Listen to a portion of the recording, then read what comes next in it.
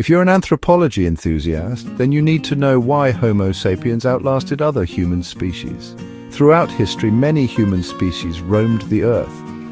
But today, only Homo sapiens remain. So, what set us apart?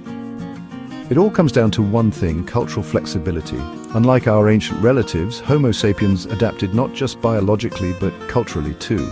We developed complex languages, created intricate social networks, and invented tools and strategies that helped us thrive in diverse environments.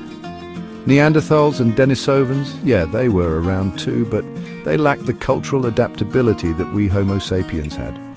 Our ability to collaborate, share knowledge and adjust to changing conditions gave us a huge survival advantage. In essence, it wasn't just about physical strength or intelligence. Our unparalleled capacity to adapt culturally ensured our survival while other human species faded into extinction. So next time you marvel at human ingenuity, remember, it's our cultural flexibility that's kept us going strong. Cool, right?